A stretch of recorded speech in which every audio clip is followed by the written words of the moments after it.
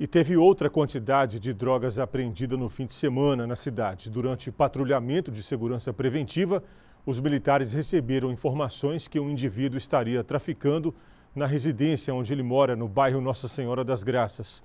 Foram apreendidos na casa 43 buchas de maconha, um pino de substância semelhante à pasta base de cocaína, uma sacola contendo substância semelhante a ácido bórico, 30 ampolas de substância semelhante a articaína e epinefrina e vários pinos vazios, além de um celular.